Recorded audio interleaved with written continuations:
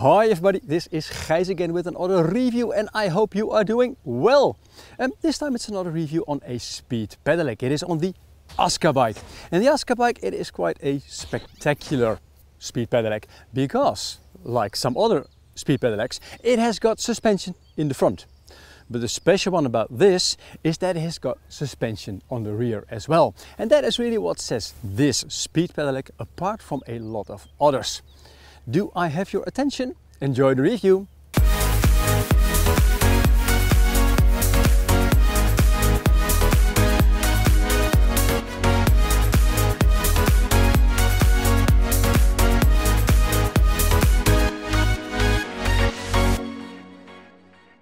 And welcome back to the review on the Aska bike. And as you can see by the looks of the bike it seems to have a little bit more of off-road use up its sleeve. But if this is really the case I will tell you later on. But before I start with the review itself it might be polite to introduce myself to those of you who just tuned into my channel for the very first time. My name is Gijs I am a Dutch outdoor gear and bike reviewer and I also sometimes review gadgets like for example a DJI Pocket P2 which is a really nice small gimbal camera or a DJI drone. Eh, both of them I use them a lot for my b-roll footage that you will also see in this video. Um, all links are below in the description to a lot of other stuff that I reviewed and that I use in this video. Now, um, I do my work totally independent, so that means that manufacturers are not paying me for my reviews. And if you like what I do at the end of this video, then please give the video a like and consider subscribing to my YouTube channel. And if you really like what I do, then please do a small donation on my Ko-fi account, link again in the description below, or just through the thanks button on my YouTube channel. Because with those small donations I can buy sometimes some new equipment because sometimes I break things. Like for example, in this case I broke a uh, GoPro 7, which is an old one, but I need to replace this. It just fell off the car that I was chasing to do some B-roll footage. Now, uh, let's start with the review itself. Let me start with telling you a little bit how I got this bike because it was the producer who basically saw my previous video on a speed pedelec which is the Stromer ST3 um, and he thought like hey this guy does a little bit different reviews than what we're used to. He is honest, he is open, sort of knowledgeable uh, and he just tells what he thinks, he speaks his mind. So they gave me a call and they asked me if I wanted to test the Aska bike. And I asked them, is the Aska bike for sale in the whole of the world? Because I'm a YouTuber, I do it in English. Um, so people might want to buy the bike afterwards, seeing my review. And they said, no, it's produced in Belgium and it is for sale in Belgium. And at first I thought, no, I'm not going to go this way because if it's only for sale in Belgium, then it is maybe not that interesting to my channel. But then I thought, well, if it is only produced in Belgium or yet at the moment for sale in Belgium, it might be that after my review it will go on sale everywhere if it is a decent bike. And since I had a good look at the specifications of the bike, well, basically it was my heart that said, yes, guys, you should do this review. Although it is only for a very small public maybe, but it is a very, very interesting bike. The Aska bike, like I said, it is made in Belgium and you already heard what I said, Aska bike or Aska bike. Um, I've got some comments on posts that I did on YouTube and also on my Instagram account when I say Aska bike. And then because Aska, Aska is written with a A with a circle on top, um, I got some comments that it should be Oscar bike. But when I'm talking to the producer, they always talk about Aska bike. So I'm going to keep going on with the Aska bike because maybe that's just the Belgian way of saying that word. Oska, Aska, it means thunder in Swedish, by the way. Now that was a little sideline. Uh, going back to the beginning, I think this is technically and design-wise a very interesting bike for me and also for my channel. So I just thought, well, you must be interested in something like this that looks that spectacular. Um, so I said, send them, send the bike to me, and that's what they did. And I've been using it for about five weeks. Did a lot of testing with it, um, and basically this is the result. This video. Now the Aska bike itself, it is the idea of a Belgian guy called Philip Tehing. And he thought, let's produce a speed pedelec in Belgium for the Belgian market that is also designed with mostly, not 100%, but mostly components from Belgium and Europe. And for example, what is interesting is that the frame itself, it is being made by a machine builder that does build uh, machines for the textile industry. And the cutting of the aluminium sheets, it's done there, it's folded there, and the whole frame, it is put together there. The company name of the frame manufacturer, by the way, is Gilbos, which is situated in Aalst, in of course Belgium. Now, if you look at the other components, uh, you will see that this is again a pinion bike. Well, pinion, it is made in Germany. Um, the front fork, it is a Formula One, just like the brakes. It is made in Italy. The rear suspension, it is from Öhlins in Sweden. And the rear wheel engine, which is a Neodrives, it is also produced in Germany. Now the interesting part of course, because you will see that in this beefy part there is of course the big battery. Um, that one is also produced in Belgium by a company that uses the batteries or the cells from Samsung. So in that way it is not totally from Europe. In that battery by the way there are 21,700 Samsung cells and the company that does this manufacturing process it is Pulson. One of the things I will start with is of course the size and the weight. What is different to a other to a lot of other bike manufacturers is that the Aska bike it is only for sale in one size. And I did write a article, of course, also on my uh, website. So if you're looking for the full frame geometry specifications, then please hop over there uh, because that's where you will find basically everything because it was not when I did the review or when I was testing, it was not on the website of Aska itself. And maybe they will change this. The other thing, of course, is the weight, and that was not specified on the website either. Um, so I put it on my precise scale at home and I measured a weight of 37 kilos and 200 grams, which is, of course, quite a lot. But if you take into the account that this is a full suspension bike, it's not that bad, to be honest. Um, later I got an email that also Aska claims a weight of 37 kilograms and that was that when they did not know what I weighed so it is quite spot on. Just one little remark on again on the frame size that it's only available in one size and one size fits all. Of course, this is not really the case, but I am 1 meter and 69 centimeters. I weigh 60 kilograms, and for me, this frame is absolutely fine. My wife, she's a little bit smaller. She was able to handle it. And I also asked a friend of mine who is 1 meter and 80 centimeters to ride the bike. And he also did not have any problems with the frame geometry and the size because of course the seat post can be adjusted as well as a little bit on the handlebar side. And now to give a good look on the bike itself, let me take off the panniers because when I test a speed pedelec, of course a speed pedelec is used for commuting most of the time, but when I test it, I also test it as a holiday bike. So I have got those panniers, these are Ortliebs by the way, uh, in the back and I test it with a small period of about 22 kilograms, which is a little bit much for me on my own. Um, so normally I test with about 15 kilograms of camping gear and the tent on the rear of the bike. Uh, sometimes with other bikes, of course, you put panniers in the front, but that is not possible on this bike. So now let me take off the panniers and let's talk about the driveline. As you can see, the heart of the bike is a pinion transmission gearbox. And the frame, it is designed basically around this pinion gearbox. And if you don't know what a pinion gearbox is, it is basically, honey, I shrunk my car gearbox a lot. Because this is just almost similar. It's two axles with a lot of sprockets on it. And in this case, it is a six speed. Pinion also does a nine speed. And if you want a nine speed, yes, Aska bike can put that in this bike as well. And they also do a 12 and a 18 speed. Aska made this bike not for mountainous areas. They made it for Belgium, for the lowlands, the flat countries, Flandria, uh, but also of course for the Netherlands. And that's why they put a six speed gearbox in, because this is enough if you are riding in flat countries with just small hills.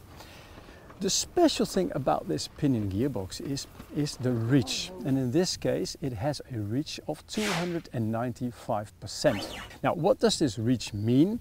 Basically, it means that if you are cycling in, let's say, gear one, uh, when your pedals go really, really fast, that when you are riding against the wind, you can do this, or going up a hill. It is sort of easy. The sixth one, you're really cycling very slow, which is of course very nice if you want to keep a very long pace.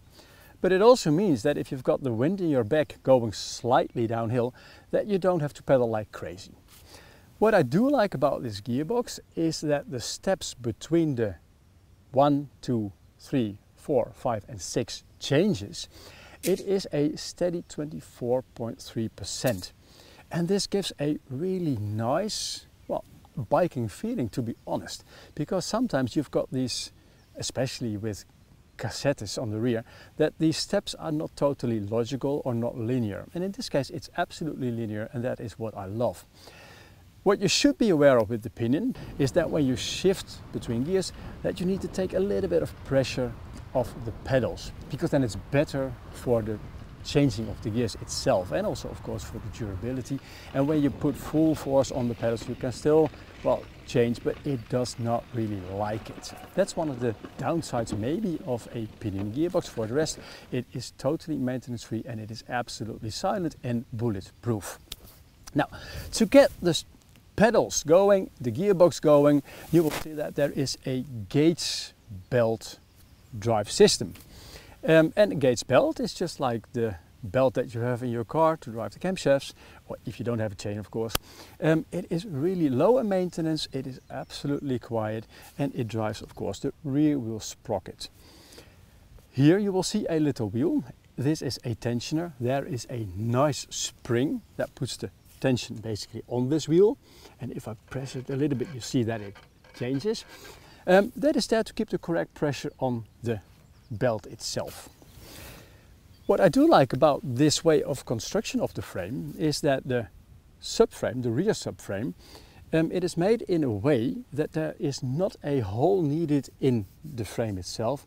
When you have a belt failure and you need to replace a belt, then with most bikes you've got this triangular system and then you need to have a open piece, of course with that is filled with another piece of metal, uh, but that you can bolt in and out so that you can put the belt around it onto the sprocket. In this case it's just not necessary, just take the rear wheel out and you can place the belt easily. Now the other thing what is of course important is the motor. It is a rear wheel motor, like I said it is from Germany and it is a Neodrives Z20RS and it delivers 1200 watt peak and 40 newton meters also in peak. Um, the motor itself, it weighs 4 kilograms.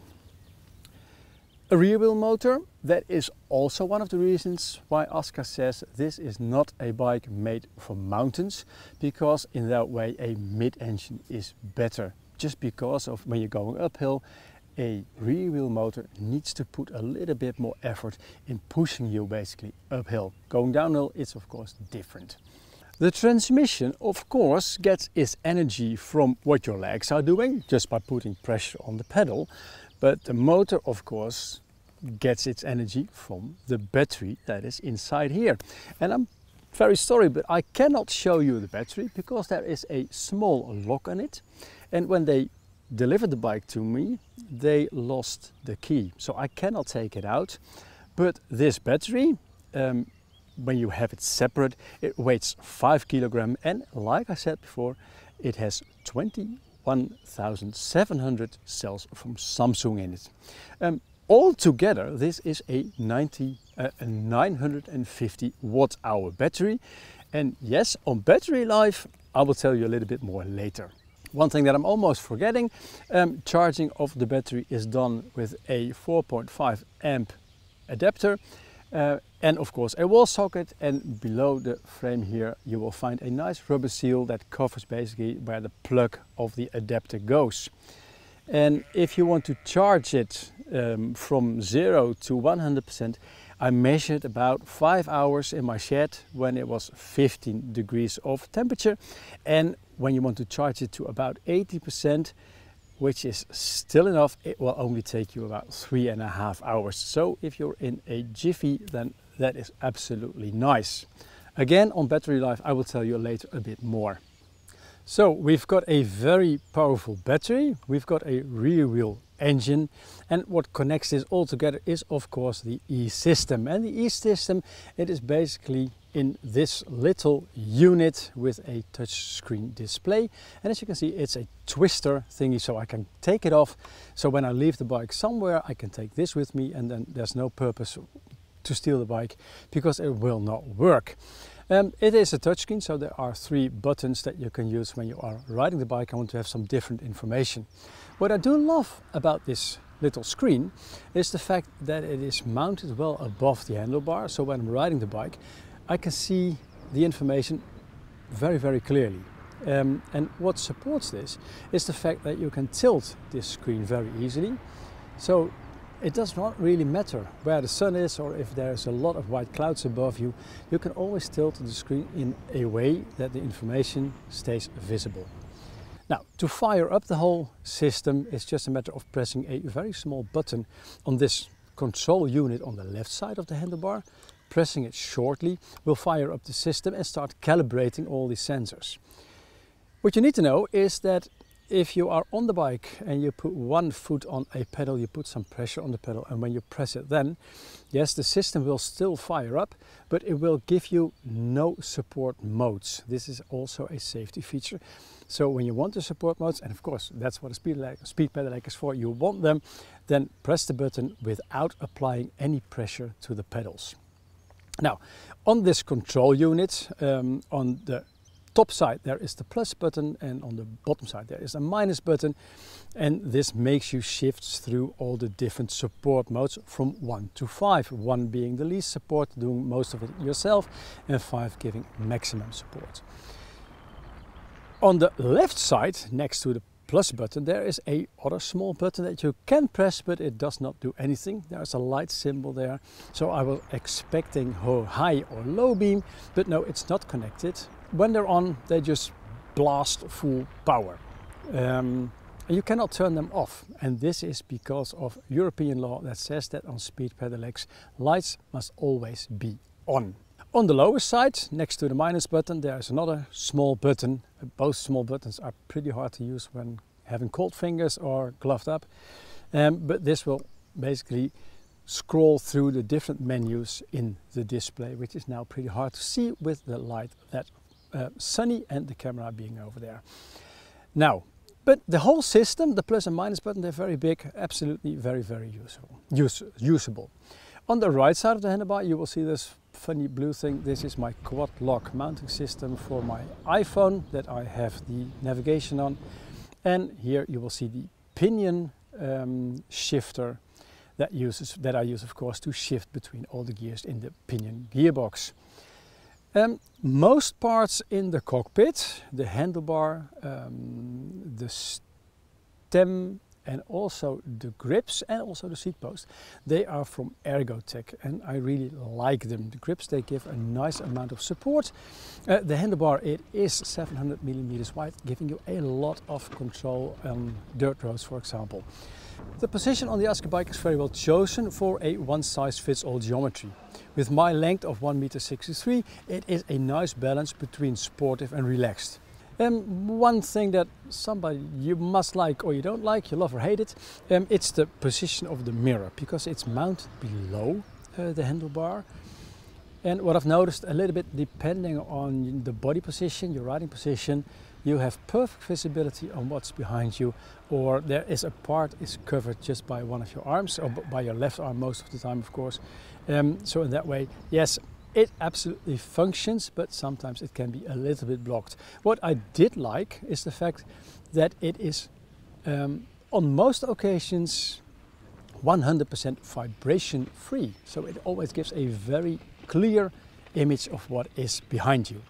Positioned just between the left side of the grip and this nice control unit for the support modes um, is a horn button. And yes, this is really a awful lot of noise. And again, if you're riding behind cyclists and you want to pass them and you press the horn, you scare the crap out of them. And again, just like I said with the Stromer e-bike, please make a horn that or sounds like a bell or maybe like a darker tone from, for example, a boat or a large truck uh, because that's just a little bit more friendly. This is just not a friendly sound and sometimes when you're riding on a speed pedelec, you don't want anybody against you. And this is not helping.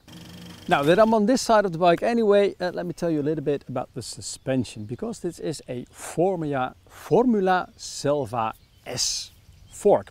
And yes, this is a mountain bike fork, basically a downhill trail fork because originally it is designed to have a travel of 160 millimeters and 160 meters that is really serious stuff. Aska, they asked Formula to tweak it a little bit and it is limited now to 130 millimeters, which is still very, very good. Uh, of course, the fork, it is fully adjustable. Um, and then you have to take into account, of course, your body weight and how you would like the rebound to be. On the fork crown on this side, there is also a lockout. So if you don't want the suspension, you can put it on lockout and then it will ride like a regular stiff fork. And I've noticed that it is not a 100% lockout because small uneven road surface thingies will still be dampened or it might be just those big balloon tires. Uh, on the other side there is a screw cap and below that screw cap there is a valve and that's where you basically put the um, pump on to change the air pressure in the chamber to adjust the bike to your weight. But also, more on this later. And of course, below here, there is this nice little red knob that you can turn. And that is of course the rebound. And that means how quickly basically the fork follows the unevenness of the road or of a field, for example. Like I said, the special thing about the Aska bike is that it also has got a rear suspension. And it is a Öhlins TTX1 Air, which also means that it is a air supported shock. And also this one is fully uh, adjustable. What is a little bit silly is that you will see that the shock it is built into the frame. And this part of the frame, one, two, three, four, eight, together with the backside, eight bolts that cover basically the shock. And of course this is quite sensible because it will protect your shock for damage, maybe from your feet, maybe from other things. It's not for the construction of the bike itself. The big disadvantage is that you cannot get through that button when you are on the bike riding. So every time when you want to change basically that, that shock setup, you need to get off the bike, fiddle around a lot below it um, and if you want to change the pressure, because there is also a valve of course, then you will need to take the cover off. And also if you want to adjust the rebound, you need to take the cover off. But once you set it up, um, basically you, you only do this once, unless when you go on a bike trip, when you have panniers, because then it is of course a little bit different. What I noticed when riding the bike at first in the factory setup was that the bike had a certain unrest in it. Riding without panniers, the stability was fine, but riding with the panniers and about 22 kilograms on the rear carrier, this changed dramatically. The bike felt wobbly and insecure in the straight line and taking corners or changing from one corner to the other, winding S-roads, was not nice. Mostly the reason for this is an incorrect setup of the suspension and tire pressure and of course a lot of weight on the rear of the bike. With a full suspension bike, it is important to set everything to the rider's weight. That means setting the correct air pressure first. Aska advises to add 20 kg to the suggested weight of formula. I am 63 kg, so with 20 kg extra I adjust the pressure in the fork to 85 psi. After that it is important to set the rebound too and that is just a lot of experimenting to get it to your personal liking. Setting the shock is almost the same procedure as the fork except for the extra weight. I adjusted the pressure to 220 psi. The pressure in the big balloon tires is one of those things that does a lot for the handling of the bike too. Aska advises a pressure of 2.2 bar. After a lot of experimenting, I found that for the front tire this 2.2 bar works fine, but I needed a bit more in the rear tire. I found the sweet spot at 2.5 bar. After adjusting the pressure in the fork, the rear shock and the tires, the wobbly issue was almost over. There was one thing that I needed to do to get it right. Position the saddle one centimeter closer to the handlebar. With this all done, riding the bike is absolutely a joy. When you look at the bike, you will probably see that this bike is a 29er. And the rims are from Rodi and they are the Tryp 35 type. And that means 35 millimeters wide and they are double walled and of course made out of aluminum. The tires, yes, they are really big balloon tires and they are Schwalbe Hurricanes and the size of course 29 by 2.4 which is really absolutely wide. Because of these balloon tires, even when you're riding a full lockout, these will give you a lot of comfort when you're riding on tarmac but still got some uneven bumps and bumps sometimes. What I do like about these tires is that in the middle of the tire there is a very small profile, so giving less roll resistance. When you're going a little bit more to the sides, you will see a sort of very small profile. That means that you will still get a lot of grip when the road is dirty or even wet. Now on the side you will see really big knobs. That means when you're riding a dirt track with a lot of sand or mud, you will still get a lot of traction. And especially especially from the rear and this is something that I've noticed. And also when I've been going down a mountain bike trail with a lot of very loose sand, I've noticed that when going into a corner, these grips on the side, these knobs on the side, they really provide a lot of grip. So yes, I really like those Schwalbe Hurricanes. Turning to the back of the bike, of course, that is the same rim and the same tire. And above that tire, there is the rear fender and the rear carrier.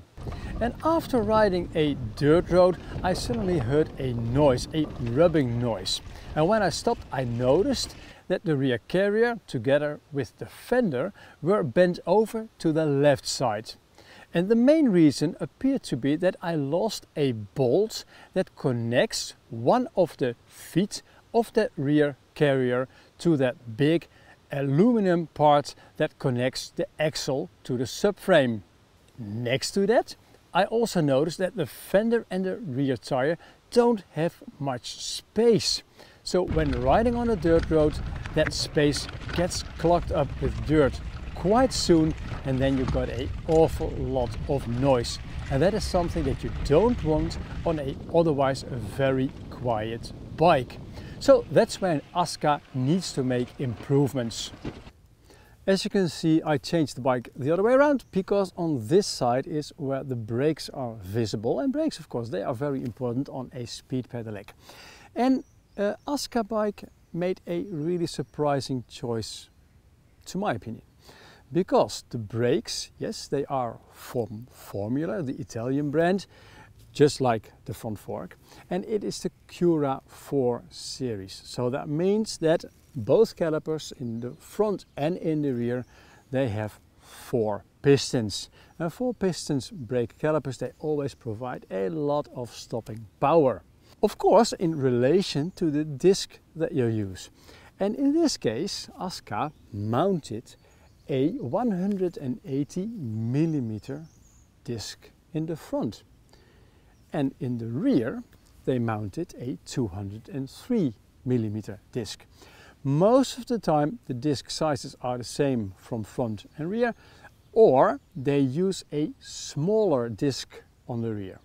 So in this way this choice has been quite surprising to me. But it is actually quite well, sensible to put a smaller disc in the front. Because of this stopping power that is way sufficient, um, the front brake never has the tendency to block, which is of course good for the safety. Now, if we talk about the rear brake, it's also a four piston caliper with a 203 millimeter disc. There is a lot of stopping power in that disc. So when you are riding on wet roads or on dirt tracks, uh, just a little bit of pressure from the brake lever is needed to block that rear wheel. Formula disc brakes and also formula levers.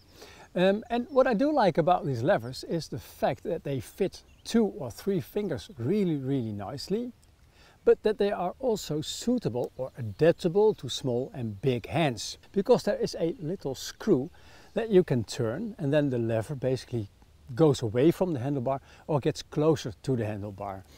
One thing that you should know is that this is not possible just with your fingers because the knob is too small and the resistance is too high. You will need a hex key for this.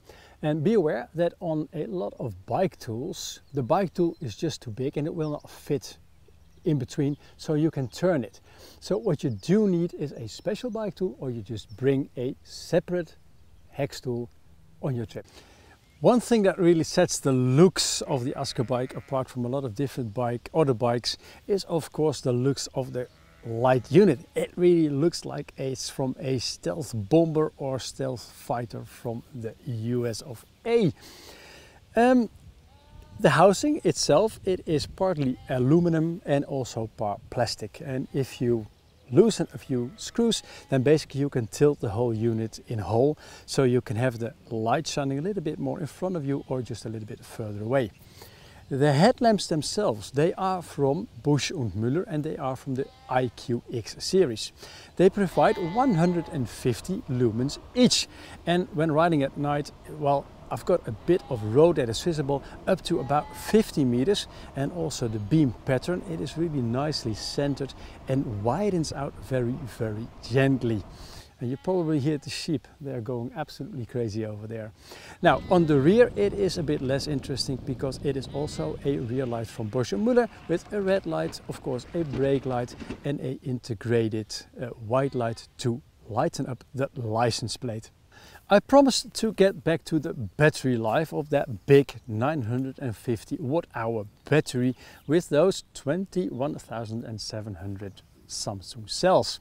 I did a lot of testing with this bike and I tried to empty the battery as fast as I, as, as I could and of course I tried to prolong my ride as long as I could.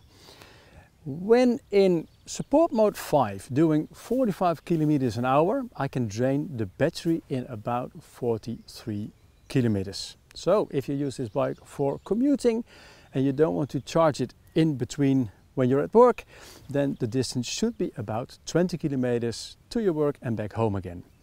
Now when I'm doing a more relaxed tour with my panniers like on holiday uh, in support mode 2, 3 and sometimes 4 when I'm going uphill or when the wind is blowing hard in my face um, and doing about 34 kilometers an hour, I get a reach of 85 kilometers, which I think is pretty decent.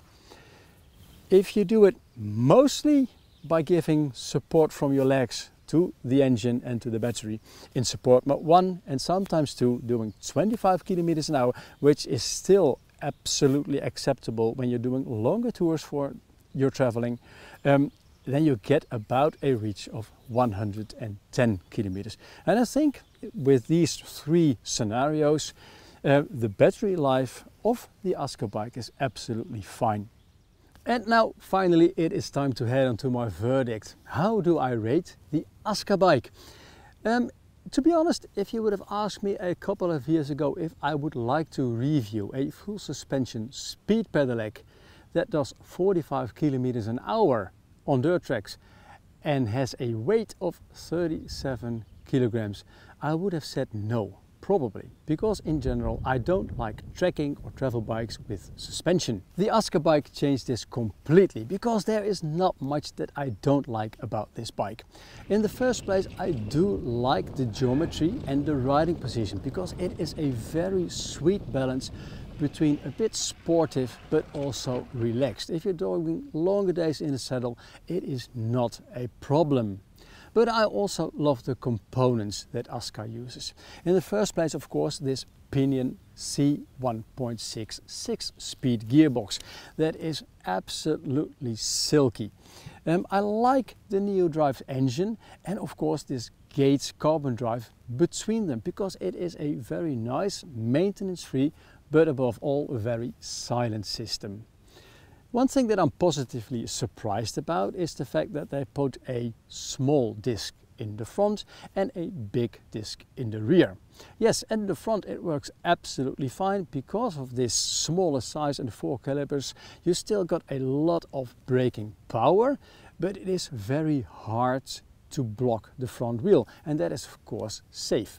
Uh, on the rear, well, in my opinion, they could have done with a smaller disc because if you're riding on a dirt road and you want to use your rear brake, it has the tendency to block up the rear wheel pretty, pretty fast, unless when you've got a lot of weight on your panniers.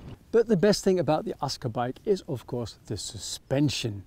Um, I love the Formula Öhlins combination because if you put the suspension basically in its firmest position, then the Aska bike on tarmac rides like a very comfortable normal speed pedelec just with a little bit more comfort because of the not 100% lockout of the suspension.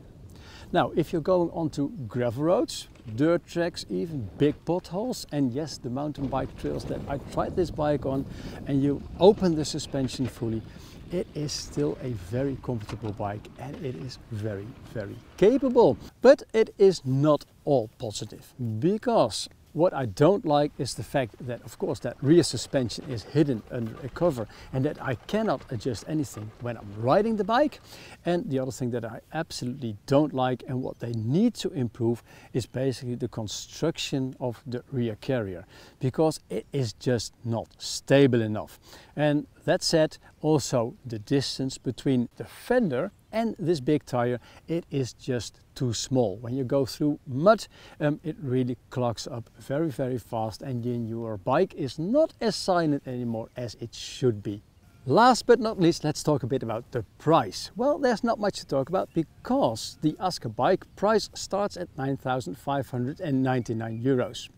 That is without the rear carrier. If you want that one, you will have to pay 199 euros extra, making this bike 9,798 euros. And yes, that's a lot of money to spend on a bike that still has got a few flaws. The flaw that I can forgive Aska is basically the stupidness of the cover uh, covering the adjustment knob lever of the suspension because basically I want to get to that knob when I'm riding the bike and want to change something. The thing that I can't forgive is basically the rear carrier that is not stable enough, it's not good enough connected to the frame and also the gap between the rear tire and the fender. That really should be improved before I spend my money on this bike. But there's one thing that I really do like about the Aska bike and that is the fact that it is made in Belgium or maybe I should say assembled in Belgium from mainly European parts. And that is a big bonus to me. And therefore I rate the Aska bike at 8.9 points out of 10 total. Now I really hope you liked this review and if you did then please give the video a like and also hit that subscribe button and subscribe to my YouTube channel because with more of you I can make more videos and I can even earn some sort of YouTube money. Now, thank you so much in advance if you do. And if you really want to support me, like I said in the beginning, please hit the thanks button uh, or do a small donation on my Ko-fi account. I'm almost ashamed to ask this, but during this shoot I crashed my GoPro and I need to replace it. And yes, I can pay a lot out of my own pocket, but sometimes a little help is much appreciated. If you want to see more videos, then please continue watching. Uh, in the description below there are many, many playlists on bikes, tents, boots, stoves, and everything that I use in my outdoor life and also of course on some stuff that I use to shoot these videos. Thank you so much for watching. Enjoy the outdoors and stay safe. Ciao ciao! And yes, I am really looking forward going through this field with this bike again. Bye!